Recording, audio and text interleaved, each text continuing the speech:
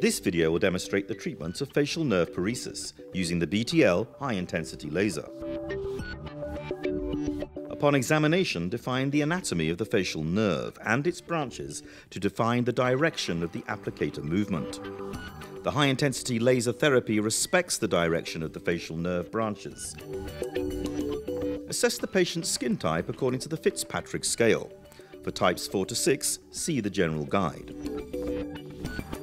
For facial nerve paresis, select the 30mm spacer.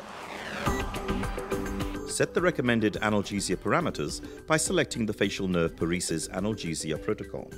Remember to adjust the area to be treated. In this case, the area will be rather small, maximum 10 square centimeters. The therapist and the patient must be wearing protective eyewear throughout the therapy. Start the therapy creating a spiral motion with the root of the nerve in the center. Create about 3 to 4 loops and when in the center, rest above the root for about 2 to 3 seconds. Repeat the spiral motion until the therapy time is up. Keep the applicator perpendicular to the skin.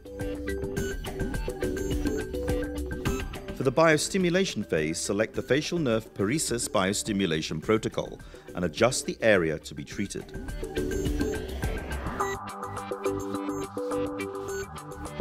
To biostimulate the facial nerve, start from the facial nerve root and move the applicator back and forth along its three branches. Repeat and continue until the therapy time is up. Keep the applicator moving and be sure to prevent static application.